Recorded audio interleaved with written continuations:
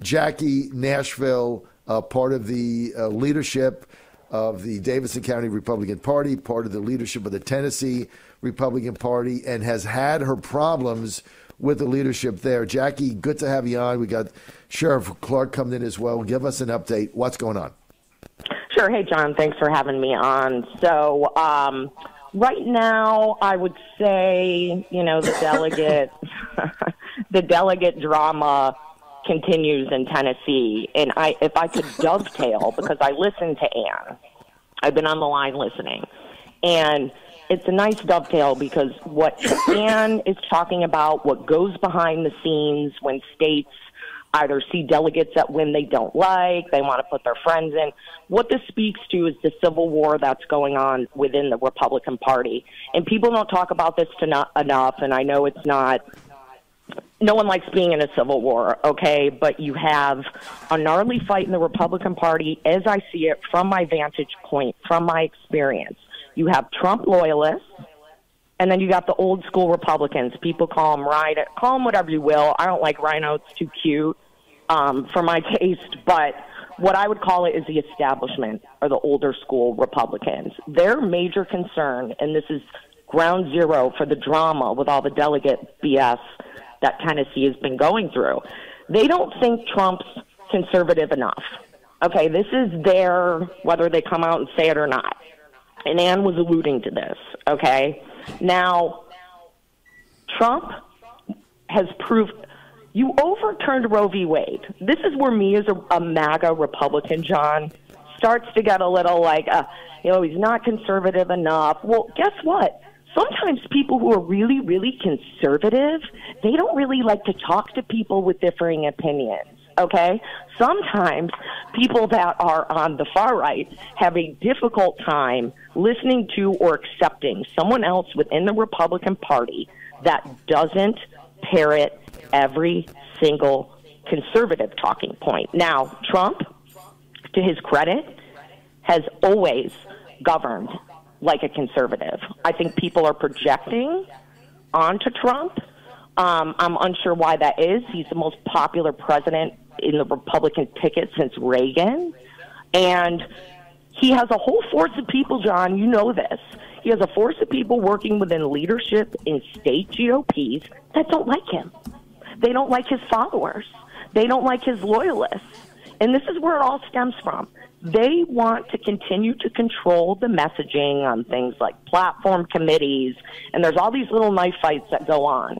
And it's to control the messaging and it's to set the tone uh, for topics and issues moving forward. and that's where the knife fight stems you, from. You, experience, look, you, you're right on all counts. You, and I'm going to bring Sheriff David Clarke in here. By the way, David, awesome. uh, clubs Cubs suck, Astros suck, we all suck. So let's just get that out of the way.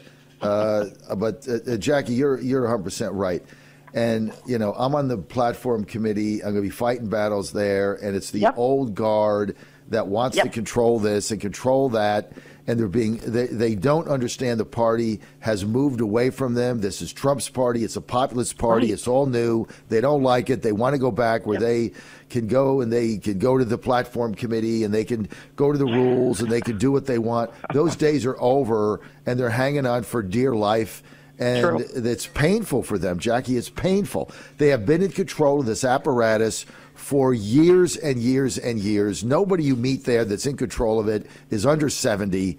I mean, is it, it, they're all 75 years old, and they're they're just clinging it because it's the only thing they got in their life. And we've seen it no no matter where you where you go. They're a cycle away from being replaced. One cycle away, they're all going to be gone. We're going to be control of this party. Uh, but you're seeing it in the platform committee. They want to control it. They're not and they got people like me on it that really don't give a rat's ass what they say. So that's, the, John, that's why they're so upset. Yes. In, in in Tennessee, and I know the platform committee is like the crown jewel out of all the committees, right? And and I get that. Now, what Tennessee has done with their committees, and I'm exceptionally proud of this. I'm exceptionally excited about this. Um, you have young Republicans young Republicans who won, who mind you, leadership didn't even want to to keep because they weren't alive long enough to meet the bona fides. Okay, they have made it onto committees, and this gives me hope in in excitement. Yeah, I get it. Look, I mean, the whole thing's a mess. All right, I want to bring in uh, Sheriff David Clarke. Sheriff, thank you for your patience. Uh, we're backed up. We, we, had a couple of uh, irate callers mad about Bob Good getting his getting his ass kicked last night uh, by John McGuire and losing, I guess. So uh, we got Jackie Colbeth on. She's in leadership GOP in Tennessee in the Nashville area. Sheriff Clarke, as you know, America's sheriff in Wisconsin. Uh, uh, Sheriff, I want to start with, with kind of what Jackie said here. That's got this old guard hanging on, and you've seen it play out in Wisconsin. You got a candidate for Senate that can't win. I mean, they put up a guy that is self funding. Uh, I've never met him. I don't know anything about him, but I'm just reading about this guy. He can't win. I mean, he's a he's a dreadful candidate. The guy puts his foot in his mouth every other day. I don't even know what he stands for. And, and Tammy Baldwin is going to make mincemeat of this guy. Is that not part still of the problem, Sheriff, with the old guard nominating people that can't win?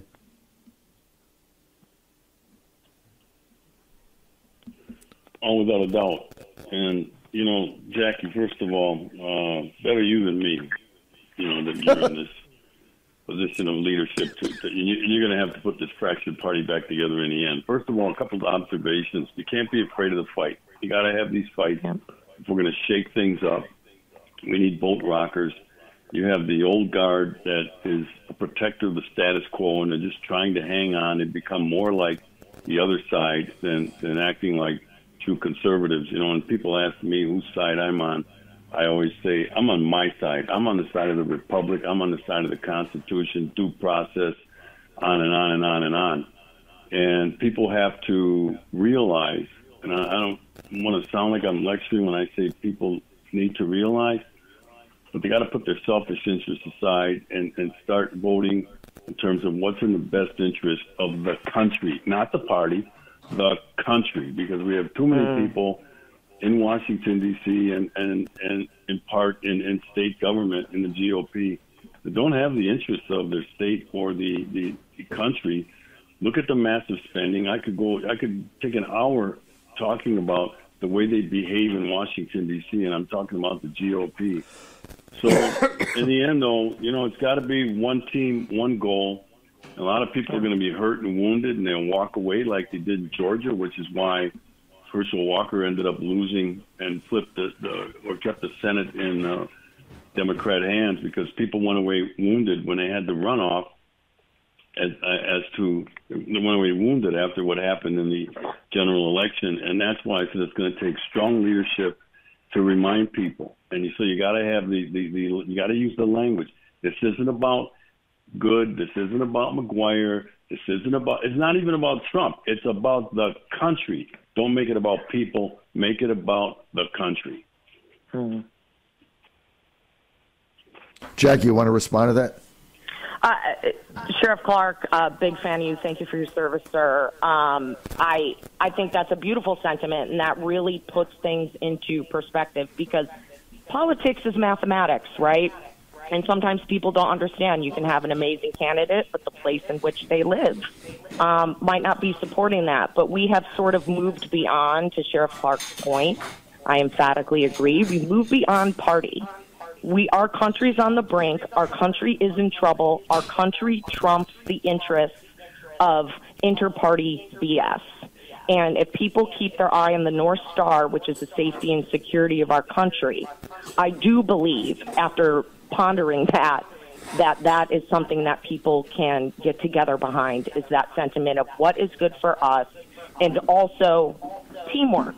Sheriff Clarke knows what it's like to be a member of a team and when you're a member of a team, you have one goal. You don't have 50 people's different motives, goals, all moving around, okay, and competing for airspace. It's one goal, and it is the only winning formula. It's the only winning formula. So, listen, uh, uh it, the way the path we're going down now is we got to just take this party over. And this is what we've been saying. Precinct 2.0, Jackie, you're part of it. We inspired you to get involved. And if you look at what Jackie went through and how they tried to oust her uh, at every turn, I mean, they just don't want you. I mean, you look at what happened to me. I moved to Pennsylvania, ran for delegate there, eight people in the race. They put me number eight on the ballot, told me it was drawn out of a hat. Right. Don't not believe that. I'm number eight. I have to raise, you know, $35,000 uh, to win uh, which I did, which I did, ran a campaign. Everybody said there was I had zero. Even when we were sitting there, Ann and I handing out my flyers, the people that were that were running against us were telling, "Well, you, Ann, you know, you understand, you're not going to win. You're not from here. People don't know you. You're not going to win. But you know, good try." This is what they were t- telling us at noon, and uh, we led the ticket and beat everybody in a landslide. So they don't want you there, right? You had the Speaker of the House yelling at my wife, telling her to go back to Virginia. And she's like, uh, "Sir, this is I live in Pittsburgh. Like, you know, this is Speaker of the House. They don't want new people. But here's the reality: they got them. Okay, they got them, and now we're going to oust them all. They, we're going to oust them all, including Tennessee and everything else. And look, they still got, you know, they still got ties to some of the you know, some of the people they need, but it's it's people like you and I are, are taking this thing over. Sheriff Clarke, uh, I, I got to get uh, I got to do baseball for a second, then we get back to po- politics. Jackie, hang there with us. Um, two things. Number one, Astros and the Cubs are combined 18 and a half games out. You're eight and a half out. I'm 10 out season for the Astros is over. Alvarez is hurt. Verlander's hurt. Oral pitches are hurt. Now Tucker's hurt. Nobody's playing. We can't score runs. Now we're getting beat by the White Sox to add insult to injury. Got beat last night, 10 games out. No way to make the wild card. No way to make up 10 games. Season over. Time to sell. Right? Cubs, same position. Uh, it's all it's all bad.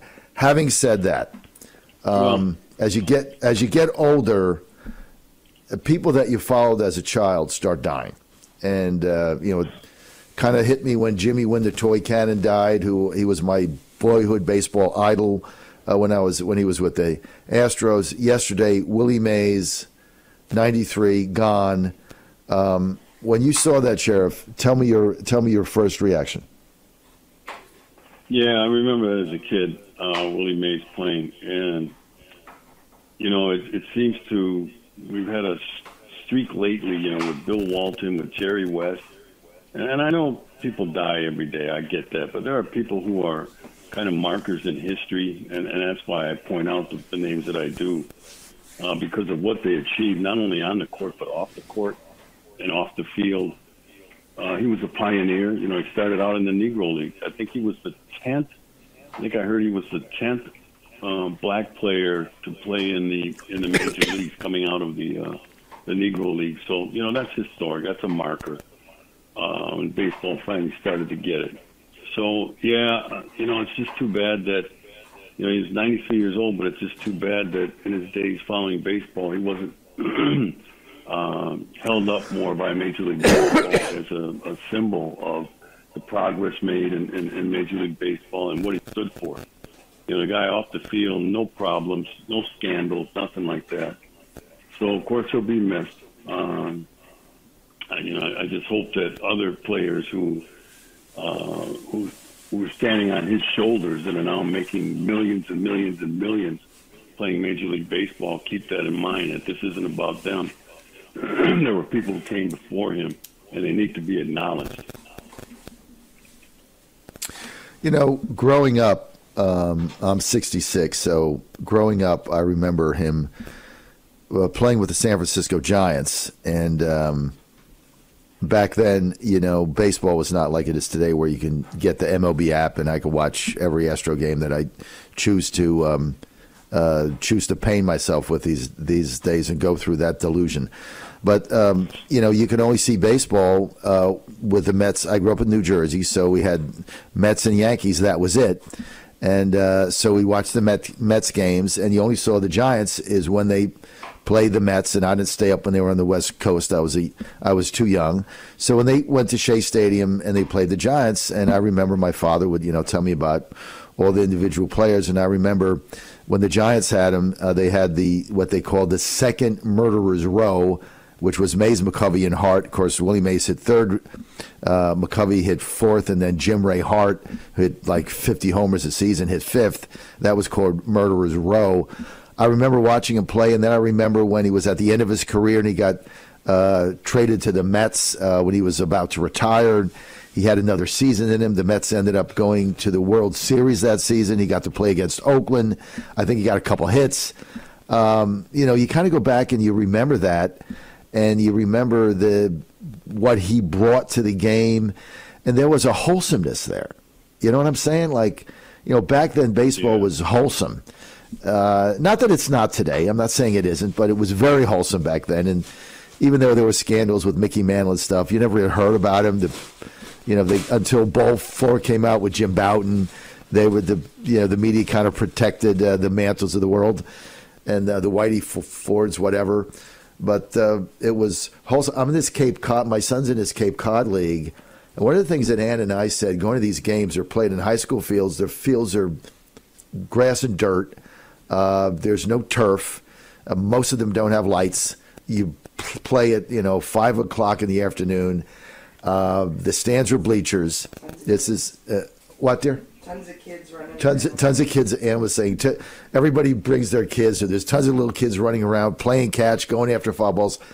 You know, you, you go to these games in the Cape Cod League, uh, Sheriff, and uh, I, I got to bring you out here one day because it's really the way baseball was meant to be. Uh, that's the baseball we grew up with. You know, back in the day, playing in a little league or playing in high school, and you know there were no lights and turfs and all this stuff, and you had little kids running around. Um, and so the game, you know, the game lives on, and all of us that grew up with him will always remember Willie Mays. Just like in basketball, you're always going to remember Jerry West driving down the lane. You're going to remember Bill Walton, uh, Trailblazers down 2-0 to Philadelphia. Uh, Portland brought him back single handedly. Third game, scored like 48. They couldn't stop him with that hook.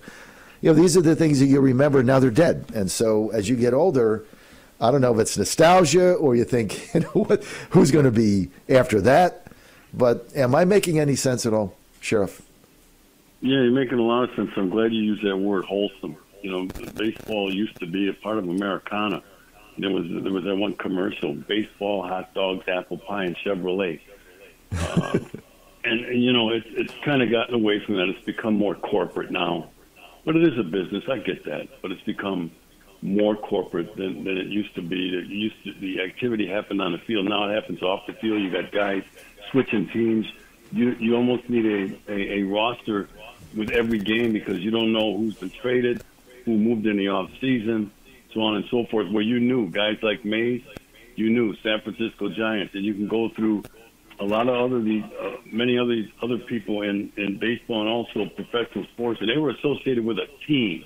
Now, you got guys with free agency, and I'm not speaking against that, but I mean, there's no identity. It's not Americana anymore.